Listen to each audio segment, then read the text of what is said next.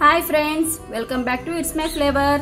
ఈరోజు మన ఛానల్లో పూర్వీకులు చేసుకునే పద్ధతిలో అలసంద వడ చేసుకుందాము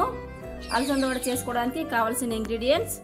అలసందలు ఆరు నుంచి ఎనిమిది గంటలు నానబెట్టుకొని పొట్టు లేకుండా బాగా కడిగి పెట్టుకున్నాము కొత్తిమీర కరివేపాకు దాల్చిన చెక్క లవంగాలు ఆనియన్స్ పచ్చిమిరపకాయలు సాల్ట్ తీసుకున్నాము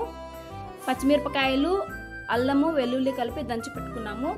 ఇవన్నీ ఇప్పుడు రోట్లో వేసి మనం పేస్ట్ చేసుకోవాలన్నమాట అలసందలు రోల్లో వేసుకొని ఇలా రుబ్బుకోవాలి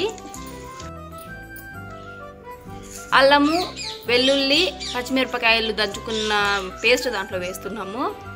కొంచెం సాల్ట్ వేసుకోవాలి కొంచెం కరివేపాకు కొంచెం కొత్తిమీర ఇవన్నీ వేసి బాగా రుబ్బుకోవాలి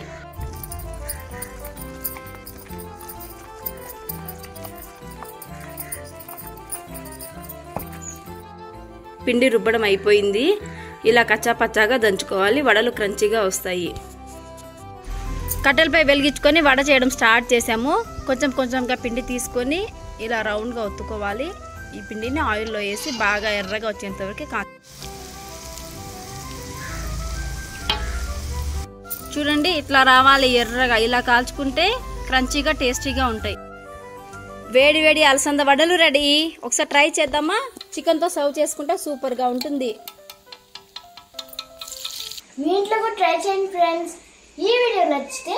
లైక్ చేయండి షేర్ చేయండి సబ్స్క్రైబ్ చేయండి